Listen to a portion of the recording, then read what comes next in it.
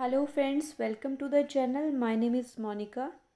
Friends, आज हम लोग करने वाले हैं प्योरिटन एज की पोइट्री के बारे में। इससे पहले हम लोग एलिजाबेथन एज कवर कर चुके हैं और उससे पहले चौसर की एज भी। तो अगर आपने वो वीडियोस नहीं देखे हैं तो पहले आप उन वीडियोस को देख लीजिए ताकि आपका बेस कवर हो जाए और उसके बाद में आप लोग ये वाला वीडियो देखिए। तो आइए शुरू करते हैं। प्योरिटन पोइट्री का फोकस मेनली रिलीजन और डिवोशन टू गॉड था। जो उस टाइम पे जितने भी प्ले हुए, उन्होंने बेसिकली रिलीजन पे और गॉड की तरफ़ डिवोशन पे फोकस किया। जो प्योरिटन एज की पोइट्री थी, उसमें जितने भी प्ले थे, उनको बेसिकली थ्री कैटेगरीज में डिवाइड किया जाता है। First of all Spenserian second metaphysical third is cavalier poetry आगे हम लोग देख लेते हैं। ये हम लोग पढ़ चुके हैं। मेटाफिजिकल पोइट्स थे केवेलियर थे और स्पेंसेरियन थे। अभी हम लोग देख लेते हैं कि जो प्योरिटन एज थी, उसमें उसके फीचर्स क्या क्या थे? किस टाइप की एज थी वो? उसको समझ लेते हैं।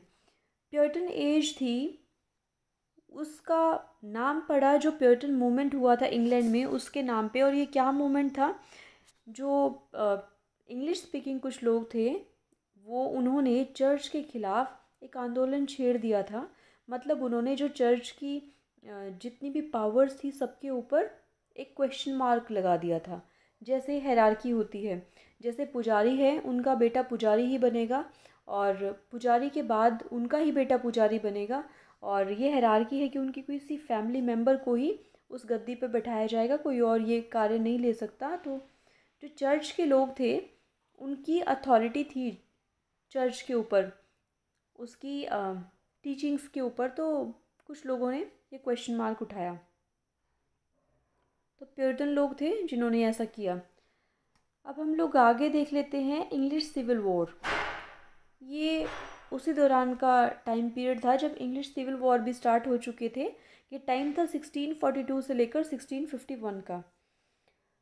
ब्रिटेन में हमेशा से ही दो पावर्स का राज रहा है। फ़र्स्ट ऑफ़ ऑल पार्लियामेंट और सेकंड रॉयल जो राजे महाराजा और जो किंग हैं।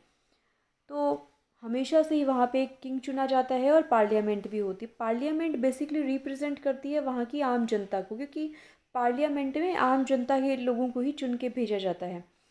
तो ये टाइम वो टाइम था जब 1642 में चार्ल्स वन किंग बने।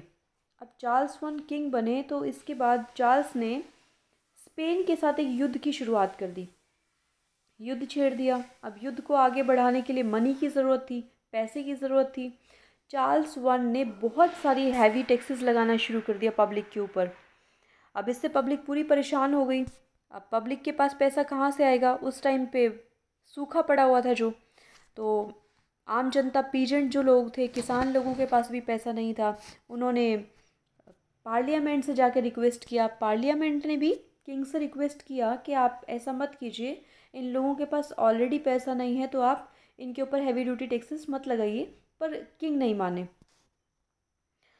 उस टाइम पे पार्लियामेंट का कंट्रोल नहीं था किंग के ऊपर। ये बाद की बातें हैं। जब पार्लियामेंट ने किंग के ऊपर कंट्रोल करना शुरू किया, ये ग्लोरियस रेवोल्यूशन आया था 1688 में। उसके बाद पार्लियामेंट का किंग के ऊपर कंट्रोल हो गया था। उससे पहले जो हम अब की बात कर रहे हैं 1642 में पार्लियामेंट का बिल्कुल भी कंट्रोल नहीं था किंग के ऊपर। जो किंग का जो भी मन करता था, वो चीज़ कर रहे थे। तो इसके बाद में फाइनली पार्लियामेंट की जीत हुई। चार्ल्स वन को फांसी चढ़ा दिया गया एग्जीक्यूट कर दिया गया। और जो चार्ल्स टू था, उनका लड़का, वो, उनका सन था, वो वहाँ से भाग गया फ्रांस में। तो ये सिविल वॉर का एक ओवरव्यू मैंने आपको दे दिया कि सिविल वॉर में एक्चुअली हुआ क्या था। अब हम आगे देख लेते हैं। ये पहली बार ऐसा टाइम पीरियड आया था पूरे ब्रिटेन में कि पूरे इंग्लैंड में कॉमनवेल्थ आ गया था। ये फ़र्स्ट टाइम हुआ था ऐसा।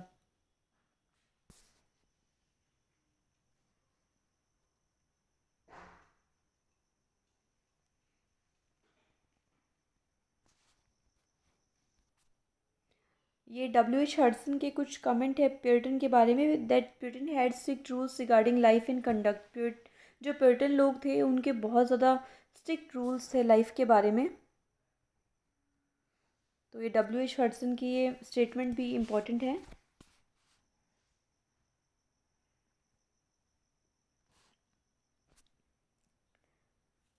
जो स्ट्रगल की इंटेंसिटी थी जितनी भी ज़्यादा हाई थी उसी ने प्योरिटन्स को बहुत निरोर हार्ड बना दिया था। अब देख लेते हैं प्योरिटन एज में लिटरेचर किस टाइप का लिखा गया।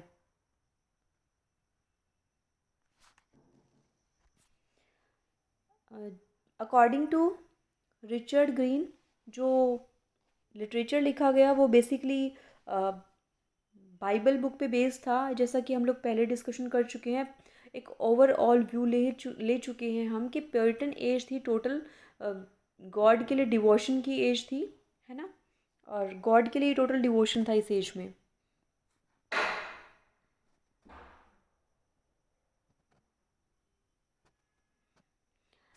जो प्योरिटन लोग थे, वो जो थिएटर में एक्टिविटी होती है, जो इमोरल चीज़ें होती हैं, जो गॉड से रिलेट नहीं करती, जिसमें उनको कुछ सेक्सुअलिटी कुछ गलत चीज़ें देखने को मिलती हैं, उनको वो लोग ख़त्म करते थे हार्म पहुंचाते थे। इसीलिए प्योरिटन्स ने गोल्ड ग्लोब थिएटर को डेमोलिश कर दिया था। 1644 की बात है ये।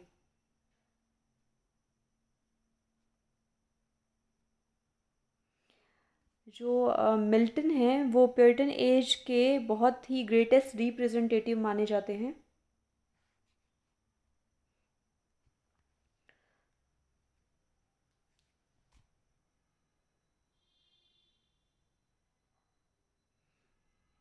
आगे हम लोग देखते हैं। अब एलिजाबेथन एज से कंपैरिजन है, क्योंकि एलिजाबेथन एज से इसलिए कंपैरिजन है क्योंकि प्योरिटन एज के जस्ट पहले वाली एज एलिजाबेथन एज थी।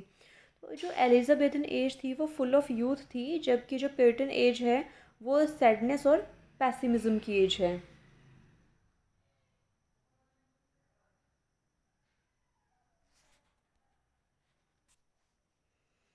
और जो एलिजाबेथन एज थी, वो एकदम full of romance romantic flavour उसमें देखने को मिलता था।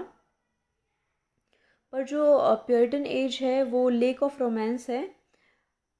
जैसे एलिजाबेथन पोइट्री में आपने देखा शेक्सपियर ने बहुत ही रोमांटिक पोएम्स लिखी। पर जो प्योरिटन एज थी वो उसमें रोमांस नहीं था कहीं भी। जो कुछ डन ने जॉन डन ने कुछ लव पोएम्स लिखी उनमें भी आ, बहुत ज़्यादा आपको इंटेलेक्चुअल स्पिरिट देखने को मिलता है। लाइक लव पोएम्स भी उनकी। मेटाफिज़िकल थी। लाइक उसमें भी डायरेक्ट लव नहीं दिखा रखा था, उसमें भी इंटेलेक्चुअल लव दिखा रखा था।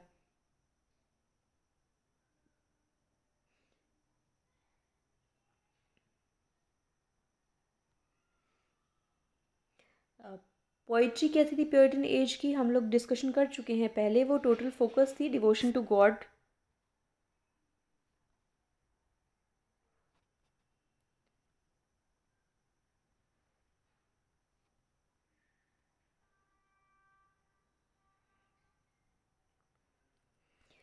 क्लासिफिकेशन देख लेते हैं। पोइट्स का जो पर्टन एज के पोइट्स थे, उनका classification Spenserian cavalier metaphysical poets चलिए, हम लोग पढ़ते हैं स्पेंसेरियन पोइट्स के बारे में। स्पेंसेरियन पोइट्स के नाम दिए गए हैं Giles Fletcher William Browne George Wither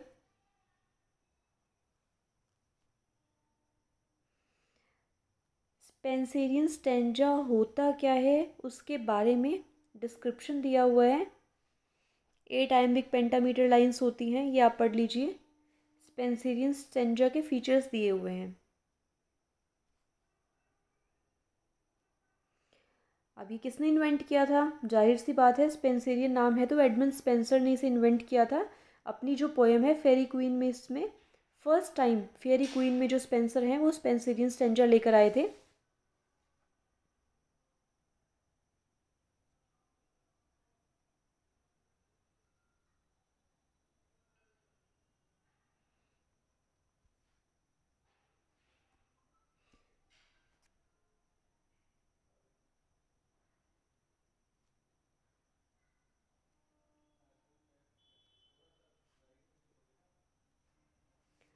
अब उस टाइम पे तो स्पेंसेरियन स्टेंजा काफ़ी अच्छे तरीके से हद से यूज़ हो रहा था, पर ये जो था सेवनटीन सेंचुरी और एटीन सेंचुरी में एकदम से कम हो चुका था।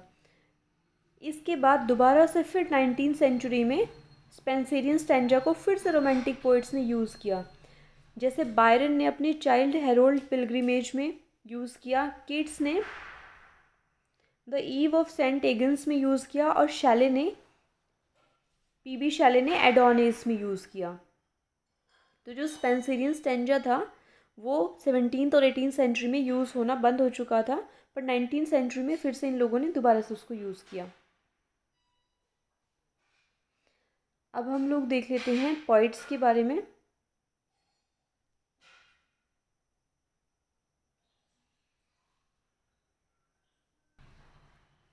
फिनियस फ्लेचर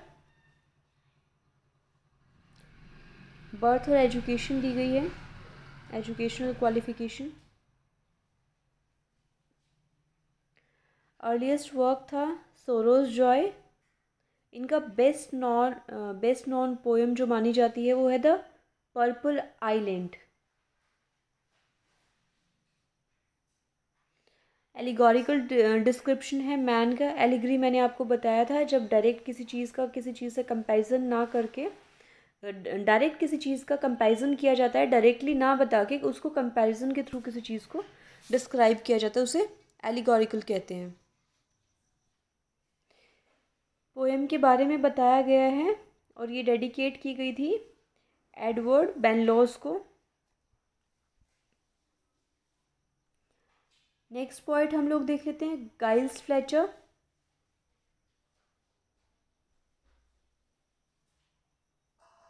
एजुकेशनल क्वालिफिकेशन और बर्थ दिया गया है। लिटरेरी करियर एंड वर्क्स देख लेते हैं। Triumph in heaven and earth over and after death ये फोर पार्ट्स में डिवाइडेड है। फोर पार्ट्स किस चीज़ को रिप्रेजेंट कर लेते हैं आप देख लिए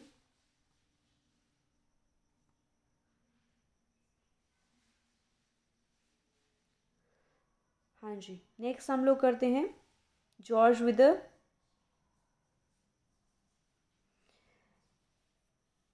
इन्होंने अपनी ग्रेजुएशन कंप्लीट किए बिना ही यूनिवर्सिटी छोड़ दी थी। ऐसे बहुत सारे पॉइंट्स हैं। पॉइंट्स का ग्रुप भी क्वेश्चन के रूप में आ सकता है कि कौन कौन से ऐसे पॉइंट्स हैं जिन्होंने या कौन कौन से ऐसे प्ले राइट्स हैं जिन्होंने ऑक्सफोर्ड छोड़ दिया था without degree without taking degree आगे हम लोग विदर के वर्क्स देख लेते हैं।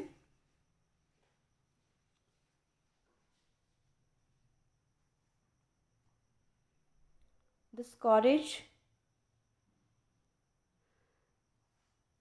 इसमें लॉर्ड चांसलर को अटैक किया गया था। क्रिटिसाइज किया गया था। पेस्टोरल इकोलॉग्स भी इन्होंने पब्लिश किया, the Shepherd's Hunting.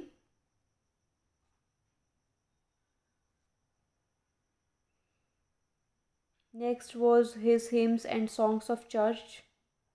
Hymns मतलब भजन होता है। William Browne. नेक्स्ट राइटर है William Browne.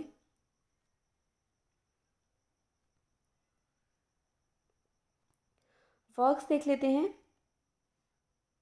Britannia's Pastorals Britannia's Pastorals two pastoral three shepherd's pipe ये हीरोइक कपलेट्स में लिखा गया था। फ़िलहाल जो हम लोग कर रहे हैं, हम लोग एज के बारे में सबसे पहले डिस्क्रिप्शन ले रहे हैं। उसके बाद हम लोग उस एज के राइटर्स को कैटेगराइज कर रहे हैं। फिर उसके बाद हम लोग उन राइटर्स की कुछ फ़ेमस पोएम्स को ले रहे हैं। उसके बाद हम लोग जब ये सारी एजेस इस तरह से कंप्लीट कर लेंगे तो फिर हम लोग एक एक जो फ़ेमस उनकी जो भी हैं, एक है, दो हैं, जो भी हैं, हम उनके फ़ेमस प्लेस जो हैं, उनको डीपली करेंगे। अभी हम लोग किसी भी एज के बारे में एक बेसिक ओवरव्यू ले रहे हैं और उस एज में जो जो राइटर्स हुए, जो जो वहाँ की कंडीशंस थी, उसके बारे में एक व्यू ले रहे हैं और उसके बाद हम लोग डिटेल में करेंगे इसे। Next is William Drummond.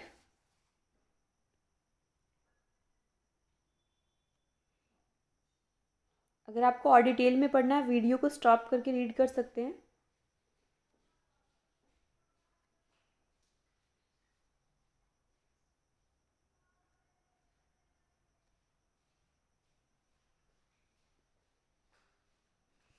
Excellent majesty sixteen seventeen में पब्लिश हुआ था हीरोइक कपलेट्स में लिखा गया था।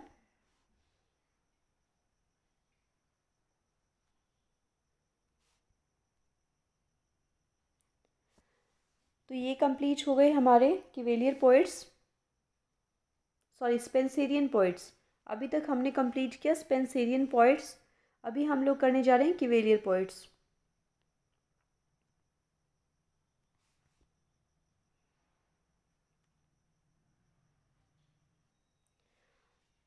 हमने चार्ल्स वन के बारे में पढ़ा, जो चार्ल्स वन किंग थे, उनको सपोर्ट करने के लिए कुछ पोइट्स उनके कोर्ट में इकट्ठा हुए। उनको किवेलियर पोइट्स बोला जाता है किवेलियर्स बोला जाता है, क्योंकि वो चार्ल्स वन को सपोर्ट कर रहे थे।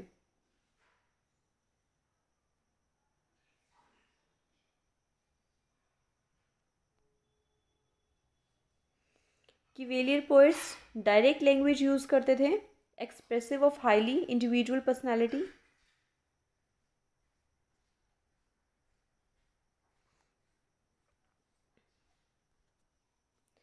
मुनीब अयोब ने किवेलियर पोइट्स के बारे में कहा है कि किवेलियर पोइट्स पोइट्स ने जो लाइफ थी, उसके लाइटर साइड को दिखाया है। होप को दिखाया है, पैशन को दिखाया है, हैप्पीनेस को दिखाया है। जो इस टाइम पे किवेलियर पोइट्स ने थीम बेसिकली यूज़ किया अपनी पोइट्री में, वो थीम ऑफ़ ऑनर था, थीम ऑफ़ हैप्पीनेस था। जो पोइट्री किवेलियर पोइट्स ने यूज़ की, उसका बेसिक एम लोगों को एंटरटेन करना था, ना कि उनको प्रोवॉक करना था, क्योंकि लोग भड़के तो ऑलरेडी हुए थे चार्ल्स वन की वजह से ऑलरेडी लोग भड़के हुए थे तो इनका काम था लोगों को एंटरटेन करना, ना कि उनको प्रोवॉक करना मतलब उनको और भड़काना। अब किवेलियर पोइट्स में नाम आता है रॉबर्ट हैरिक का रॉबर्ट हैरिक के बारे में डिटेल्स हैं। रॉबर्ट हैरिक बेन जॉनसन के शिष्य बन गए थे।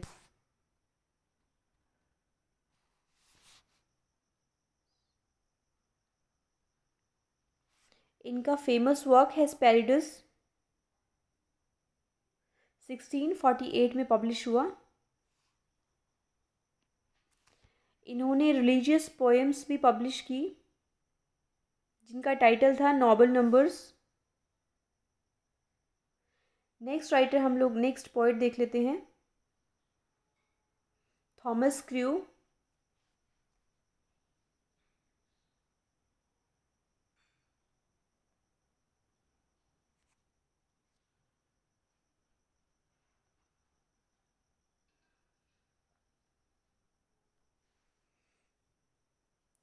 इनकी फ़ेमस पोएम थी द टू सेक्स एम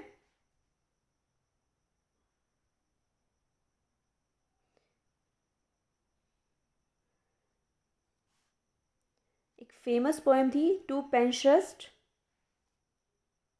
और द हेयर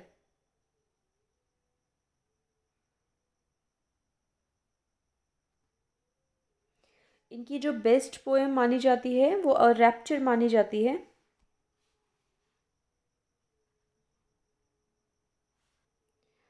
थॉमस कैरियो के बाद हम लोग देख लेते हैं। John Suckling.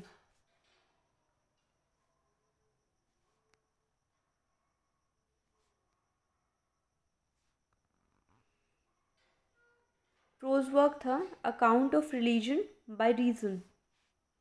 ये इन्होंने डेडिकेट किया था एडवर्ड सेक्विल को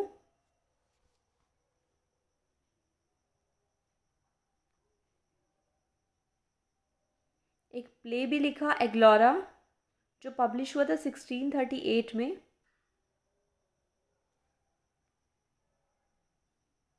नेक्स्ट पॉइंट हम लोग देख लेते हैं रिचर्ड लवलिस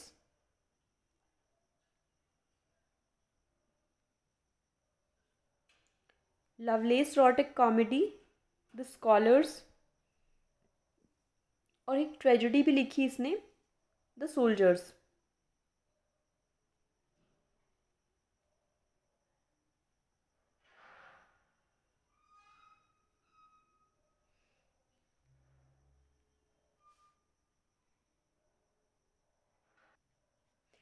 लवलेस ने चार्ल्स वन का साथ दिया और जब जो भी इनका प्लान था, सब कुछ फेलियर हो जाने के बाद चार्ल्स वन के, काफ़ी टाइम तक लवलेस को जेल में रहना पड़ा। अब पॉइट इंसान है, जेल में भी खाली नहीं बैठे हैं। During the time in prison Lovelace ने क्या क्या कलेक्ट किया? सारी जितनी भी उनकी ओकेजनल पोएम्स थी और उनको कलेक्ट करके उनको 1649 में लुकेस्टा के नाम से पब्लिश करवा दिया।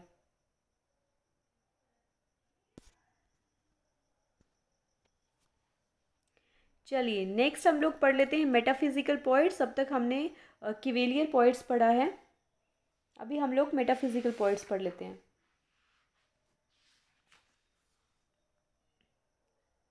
जो ये मेटाफिज़िकल वर्ड था, ये इन जिन लोगों के लिए यूज़ किया गया, जिन पॉइंट्स के लिए यूज़ किया गया, वो एक ग्रुप ऑफ़ पॉइंट्स था। John Donne Andrew Marvell Henry Vaughan George Herbert Richard Crashaw इन लोगों के लिए मेटाफिज़िकल वर्ड यूज़ किया गया। सबसे पहले जॉन ड्राइडन ने ये वर्ड यूज़ किया था। जो टर्म था मेटाफिज़िकल मेटाफिज़िक ये जॉन ड्राइडन ने डन के लिए, जॉन डन के लिए यूज़ किया था।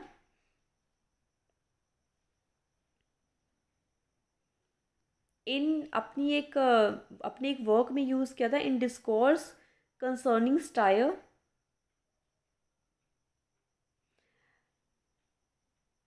Dryden ने डन के बारे में एक स्टेटमेंट दिया था that Donne affects the metaphysical metaphysics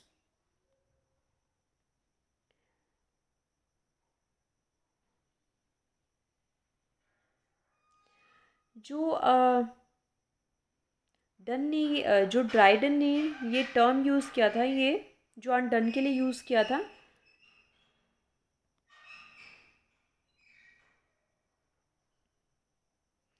इसके बाद में जॉनसन ने भी सैमुअल जॉनसन ने भी इसी प्रथा को आगे बढ़ाते हुए दोबारा से फिर ये वर्ड यूज़ किया the Life of the Poets Samuel Johnson ने the Life of the Poets में जो बायोग्राफी लिखी है, उसमें सैमुअल जॉनसन ने स्टेट किया कि सेवनटीन सेंचुरी में जो एक विशेष तरह के स्पेशल टाइप के जो राइटर्स हुए हैं, उनको मेटाफिज़िकल पॉइट्स बोला। हालाँकि ये जो मेटाफिज़िकल वर्ड था, ये कोई पॉजिटिव सेंस में नहीं बोला गया था। ड्राइडन ने और जॉनसन ने दोनों ने ही ये वर्ड मेटाफिज़िकल यूज़ किया था एक नेगेटिव सेंस के रूप में, इन पॉइंट्स के लिए। जैसे लेक पॉइंट्स यूज़ किया गया था, है ना? वर्ड्स वर्थ साउदे कॉलरेज के लिए लेक पॉइंट्स यूज़ किया गया तो वो भी कोई पॉजिटिव सेंस में नहीं यूज़ किया गया था। इसी तरह से मेटाफिज़िकल वर्ड जॉनसन और ड्राइडन ने नेगेटिव सेंस में यूज़ किया था।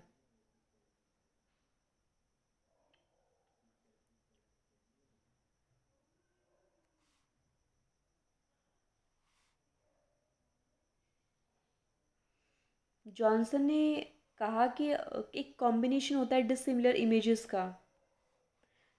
अपनी एक पोएम वेलीडिक्शन फॉरबिडिंग मॉर्निंग में, डन ने ऐसा कहा है।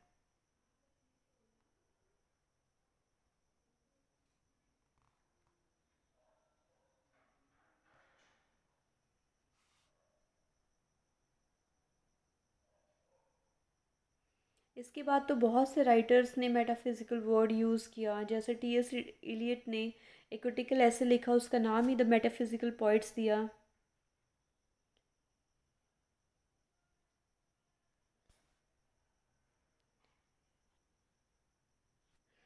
जो डन थे, उनको विक्टोरियन पॉइट्स टेनिसन और ब्राउनिंग के साथ में कंपेयर करते हुए सॉरी टी एस इलियट ने टी एस इलियट ने डन को कंपेयर किया जॉन डन को कंपेयर किया विक्टोरियन पोइट्स टेनिसन और ब्राउनिंग के साथ और कहा Tennyson and Browning are poets and they think but they do not feel their thought as immediately as the odour of a rose.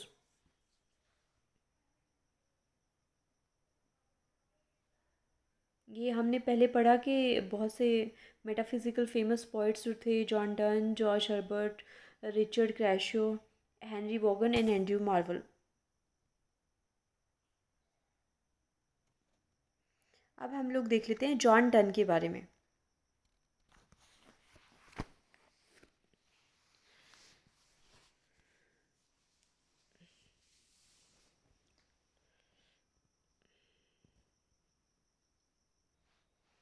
John Donne के बारे में कुछ पर्सनल डिस्क्रिप्शन दिया हुआ है।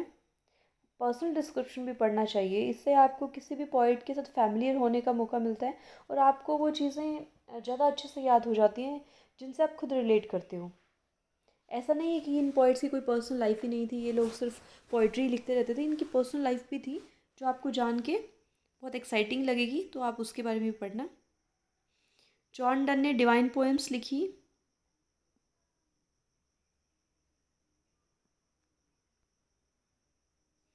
An anatomy of world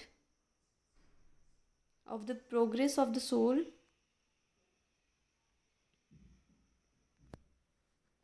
जो उन्होंने अपने चीफ पैटर्न को डेडिकेट की miss M P sir Robert Drury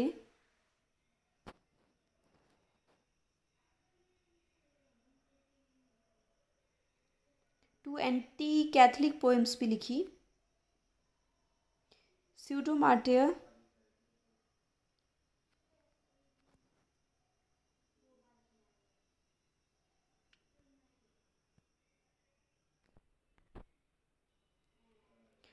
Jesus कोरा ने डन की पोइट्री को थ्री मेन ग्रुप्स में डिवाइड किया है. फ़र्स्ट आयर और क्लिनिकली एंटी पेट्रार्कन लव या anti Petrarchan love poems second sincere और third devotional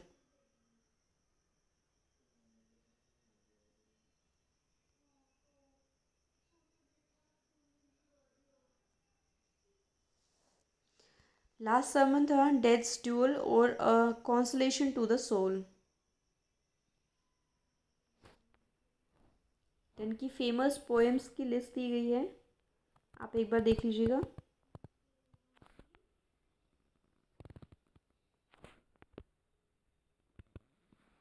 वेल्डिक्शन Forbidding mourning poem पूरी दी गई है।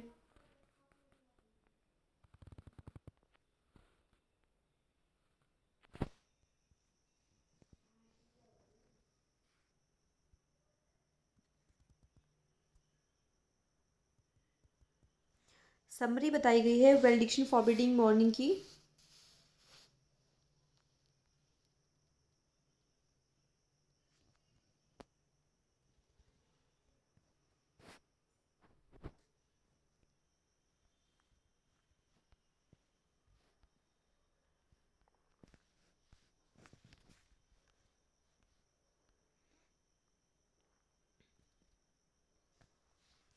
नेक्स्ट हम लोग देख लेते हैं जॉर्ज हर्बर्ट के बारे में। Literary career and works the Temple a priest to the Temple the application poem दी गई है। पोएम अगर आपको पूरी रीड आउट करनी है तो वीडियो को स्टॉप करके रीड आउट कर लीजिए। पोएम की समरी दी गई है।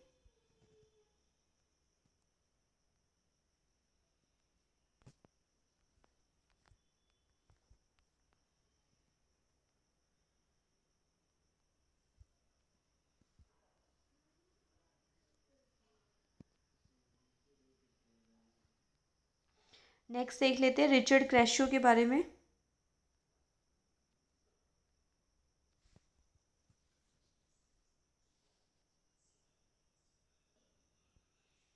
अपने ग्रेजुएशन के टाइम पे ही क्रैशो ने पब्लिश करवाया था एपिग्रामेंटम सेक्यूरम लिबर एक बुक है सेक्रेड एपिग्राम्स की।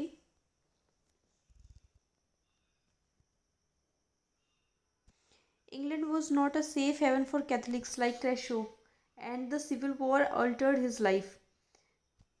जो कैथोलिक्स थे उनके लिए इंग्लैंड कोई सेफ़ जगह नहीं थी इसलिए क्रैशो फ्रांस भाग गए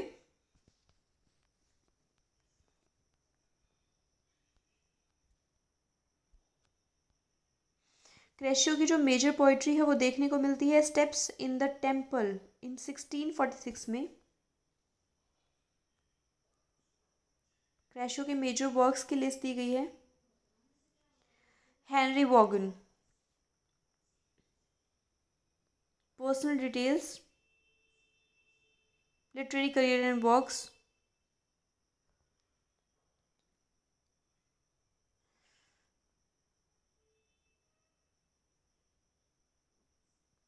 religious poems लिखी कुछ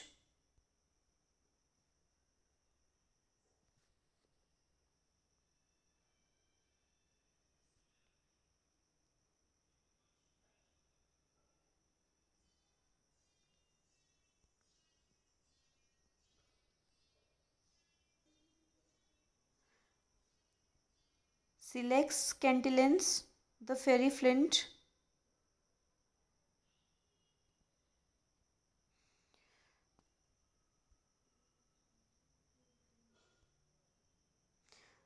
Vaughan referred to George Herbert as the blessed man whose holy life and verse gained many pious converts.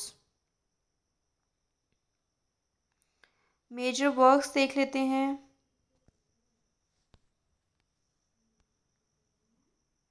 ये द रिट्रीट की समरी दी गई है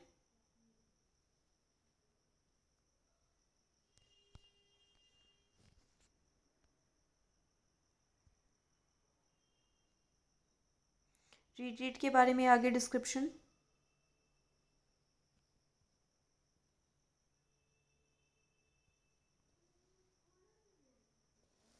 वोगन कंक्लूड करते हैं रिट्रीट को कहते हुए कि that whereas many people prefer to think in terms of progress looking forward to the future he prefers to look back to his earlier time when he was in touch with heaven and glimpse the end the end eternity of the afterlife.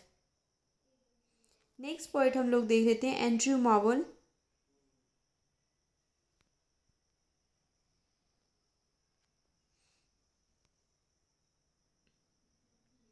his poem upon Appleton House.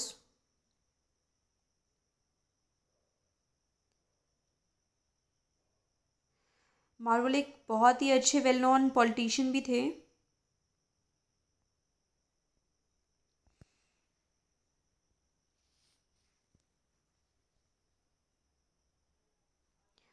Cromwell के शासनकाल में इन्होंने government job किया हुआ है। जब Cromwell की death हो गई तो ट्रिब्यूट भी दिया था अपने एक फ़ेमस ऑड के through and Horatian ode upon Cromwell's return from Ireland और sixteen August sixteen seventy eight में मार्वल की डेथ हो गई थी। मार्वल की कुछ फ़ेमस पोएम्स के नाम दिए गए हैं। आप लोग एक बार देख लीजिएगा। कैटेगरी वाइज डिवाइड किया गया है ना, इनको love poems political poems to his coy mistress ये जो अपनी मिस्ट्रेस के बारे में फील करता है, मन ही मन में तो ये इसकी फीलिंग्स बताई गई हैं सारी.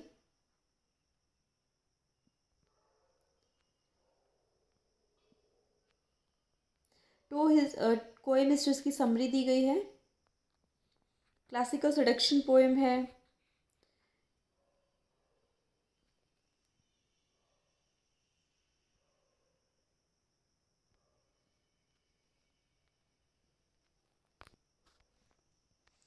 बाकी प्योरिटन पोइट्स देख लेते हैं हम लोग। बाकी भी प्योरिटन एज में बहुत फ़ेमस पोइट्स हुए। उनके बारे में देख लेते हैं। जॉन मिल्टन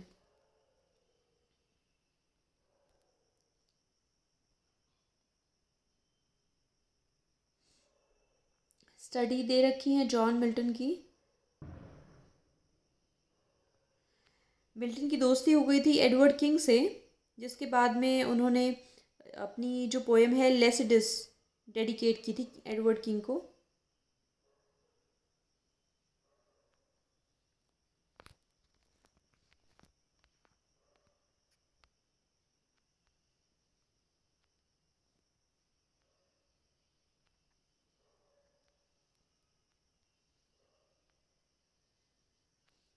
लेसिडस के बारे में कुछ डिटेल्स दी गई हैं, कुछ पॉइंट्स हैं, एक पेस्टोरल एलिगी थी।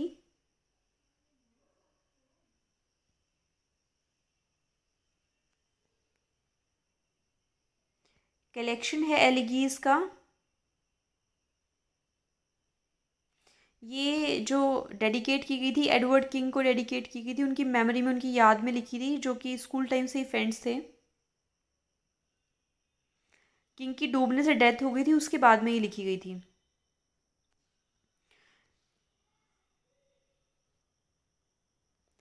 जो ये नाम था लेसिडस वो कहाँ से लिया गया था? थियोक्राइटस इडियल्स लिया गया था, जहाँ पे लेट्सिडस एक पोइट थे। पोएम है जो सिक्स सेक्शंस में है। पोएम की शुरुआत होती है मिल्टन एक देवी की पूजा कर रहे हैं इन्वॉक कर रहे हैं, उनकी आराधना कर रहे हैं।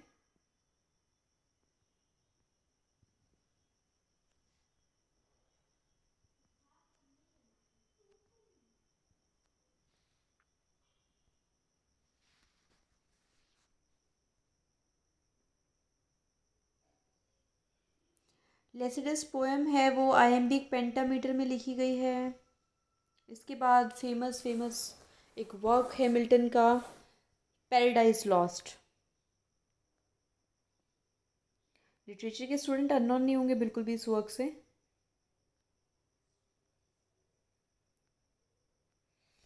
इस पोएम का थीम है justifying the ways of God to man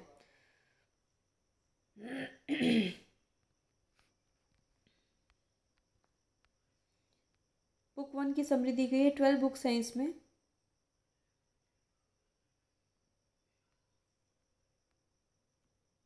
ये हम लोग बहुत डिटेल में करेंगे।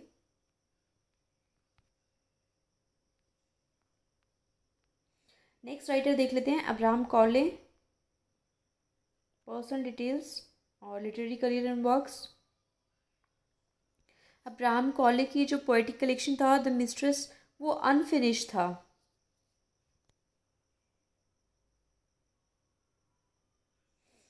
स्टेज कॉमेडी लिखी। द गार्जियन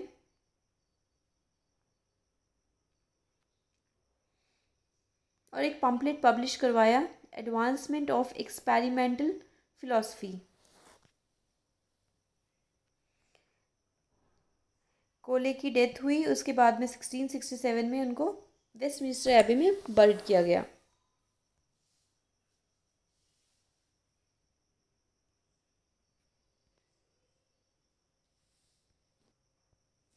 फ्रेंड्स ये थी प्योटन एज हमने आज प्योटन एज का पूरा डिस्क्रिप्शन लिया, जो एलिजाबेथन एज के बाद आई थी.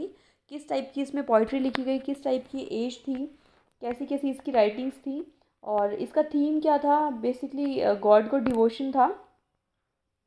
और इस टाइम पे जो चार्ल्स वन किंग हुए, और जो उनके साथ सिविल वॉर था, हमने पूरा का पूरा डिस्क्रिप्शन एक ले लिया. हमें पता लग गया अभी प्योरटन एज किस टाइप की एज थी, उसमें किस टाइप के काम हुए? इसके बाद हम लोग नेक्स्ट एज करेंगे। प्योरटन एज आपकी यहाँ पे कंप्लीट होती है। फ़ेमस राइटर्स ऑलमोस्ट हमने ले लिए हैं, जो आपके नेट के पॉइंट ऑफ़ व्यू से इंपॉर्टेंट है। इसके बाद हम लोग नेक्स्ट एज करेंगे अपने नेक्स्ट वीडियो में। अब तक के लिए ये आपकी पूरी एज हो चुकी है कंप्लीट कर्टन एज के बाद हम लोग रेस्टोरेशन एज करेंगे। तब तक के लिए आप इसे रिवाइज़ कीजिए। Stay healthy stay fit thank you so much